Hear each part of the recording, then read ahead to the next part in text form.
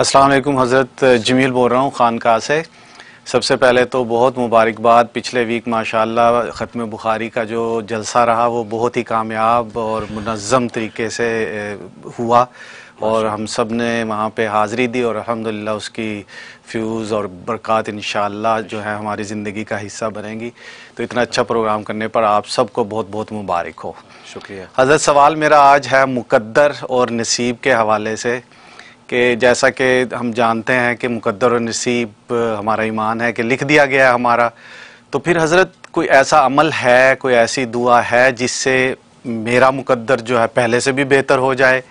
या या कोई या कोई मैं ऐसी कोई चीज़ मुझे मिल जाए कि मैं ज़्यादा मेहनत करूँ और मेरे मुकद्दर की जो मकदार है उसकी ज़्यादा हो जाए, इसी ज़िंदगी में मुझे ज़्यादा मिल जाए? तो इस हवाले से हज़रत ये जानना चाह रहा हूँ कि इस हवाले से हमारी जो है रहनुमाई फरमा ठीक है जमील साहब बहुत शुक्रिया सवाल करने का। हज़रत इससे रहनुमा। वीडियो देखने से पहले वीडियो को लाइक करें राहम टीवी चैनल को सब्सक्राइब करें और बेल आइकन पर क्लिक करें। शुक्रिया। जी माशाल्लाह माशा जमील आसर साहब खान के यूसफ चिश्तिया जकरिया आरफिया न्यूयॉर्क में आप तशीफ़ लाए और आपने ये सवाल किया है कि मुकद्दर नसीब के बारे में कि मुकद्दर नसीब दुआओं के ज़रिए या मेहनत के ज़रिए से बढ़ जाए उसकी जो मकदार में इजाफा हो जाए तो ऐसी कोई सूरत है? तो जवाब ये कि असल में तकदीर के दो पहलू हैं। एक तकदीर अटल है और एक तकदीर जो है वो मुअल्लक है। तकदीर मुबरम तकदीर अटल। मतलब कि ये तब्दील नहीं होती, वो जो जिस लम्हे लिख दी गई है, वो उसी में फैसला होगा। मतलब मौत है। मौत कब आएगी? उसका लम्हा मुतन कर दिया, ये तकदीर मुबरम या, यानी अटल, ये ये आगे पीछे एक लम्हा नहीं होगा। जैसे कुरान करीम ने कह दिया, ला यस्ताखिर सात वाला यस्तकलीमून एक लम्हा आगे पीछे नहीं होगा। पैदा होता है दुनिया में आना, जिस लम्हे उसने दुनिया में सांस लेना है, उसी लम्हे आएगा। डॉक्टरों की पेशेंट को यहाँ आगे पीछे हो जाती हैं, वो तारीखें आगे पीछे हो जाती हैं, वो बच्चे ने आना उसी लम्हे, जिस उसका सांस यहाँ लिखा हुआ है।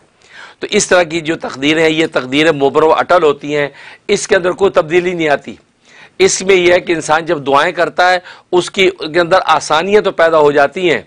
उसके वसाइल जो वो, जब वो इंसान के लिए आसान हो जाते हैं, लेकिन असल लम्हात वही रहते हैं। दूसरी तकदीर मुअल्लक है, जो मुअल्लक में लटकी हुई, आसमान और ज़मीन के दरमियान ये तकदीर लटकी होती है। इसका आपकी मेहनत और आपकी दुआओं से ताल्लुक़ होता है। इंसान मेहनत करता है, उसमें लिखा होता है नोशता तकदीर में, ये अगर इतनी मेहनत करेगा तो इसको इतना दे दिया जाएगा। ये इतनी करेगा तो इतना दे दिया जाएगा। मसलन, इम्तिहान में पास होना। इसको तकदीर मुअल्लक में लिखा होता है कि अगर ये स्टूडेंट मेहनत करेगा, इतने लेवल की मेहनत करेगा तो इतने मार्क्स लेके पास हो जाएगा। ये मरीज़ है, अगर ये सही तबीब के साथ तशीस करा कि ये दवाई खा लेगा तो ये ठीक हो जाएगा। अगर सही तशीस होकर सही दवाई नहीं खाएगा तो बीमारी और बढ़ती रहेगी।